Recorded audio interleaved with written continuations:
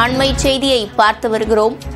Armstrong கொலை வழக்கில் முட்டை கிருஷ்ணனுக்கு எந்த பண உதவியும் செய்யவில்லை என்று நெல்சன் இயக்குனர் நெல்சனின் மனைவி தற்போது விளக்கம் அளித்திருக்கிறார்.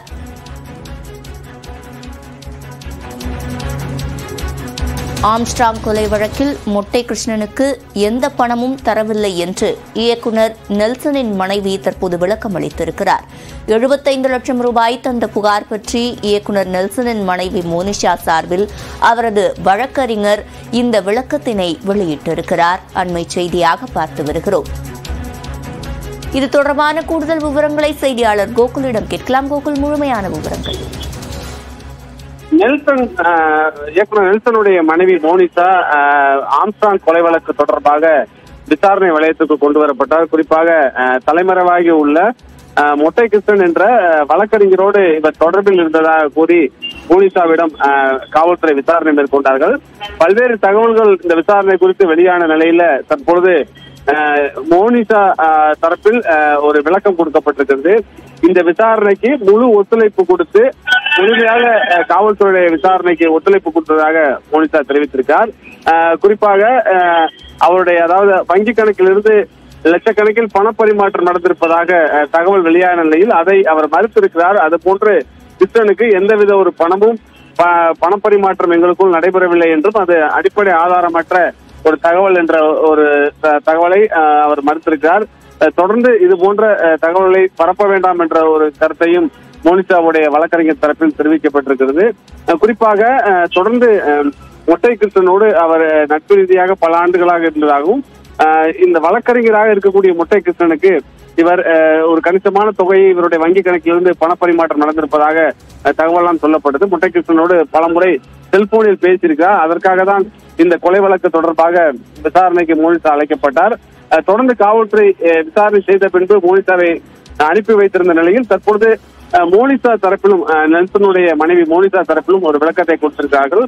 காவல்துறையுடைய விசாரணைக்கு முழு ஒத்துழைப்பு கொடுத்திருப்பதாகவும் அதே நேரத்தில் பணப்பரிமாற்றமோ எந்தவித ஒரு தொடர்பும் இல்லை என்ற ஒரு தகவலையும் அவர் மறுத்திருக்கிறார்கள்.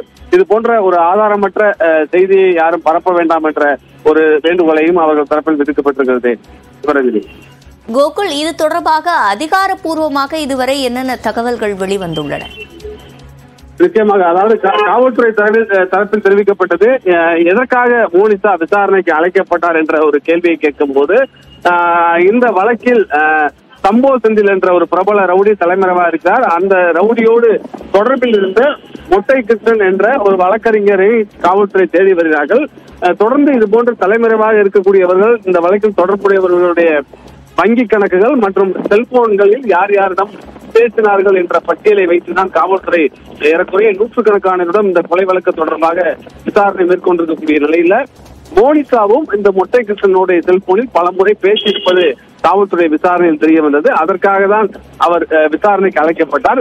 இந்த விசாரணையின் போது என்ன காரணத்திற்காக அஹ், மொட்டை கிருஷ்ணனோடு அஹ், மோனிகா பேசப்பட்டார் என்ற பேசினார் என்ற ஒரு தகவலை விசாரித்தார்கள். அதே நேரத்தில் இவர் வழக்கறிஞராக இருப்பதால் ஒரு வழக்கு தொடர்பாக பேசியதாக தெரிவித்து மோனிசா தெரிவிக்க தெரிவித்திருப்பதாக தகவல் வெளியாகிறது. அதே நேரத்தில் பணப்பரிமாற்றம் நடந்திருப்பதாக ஒரு ஒரு தகவல் வெளியான நிலையில் ஒரு லட்சக்கணக்கான கணிசமான தொகை இந்த பணப்பரிமாற்றம் இந்த கொலைக்கு பயன்படுத்தப்பட்டதா என்ற தகவலாம் வெளியான நிலையில் அதை இவர் மறுத்திருக்கிறார்.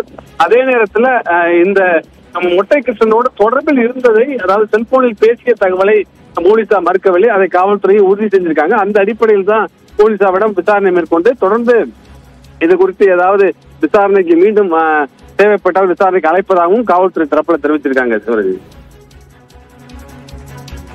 விவரங்களை வழங்கியமைக்கு நன்றி கோகுல்.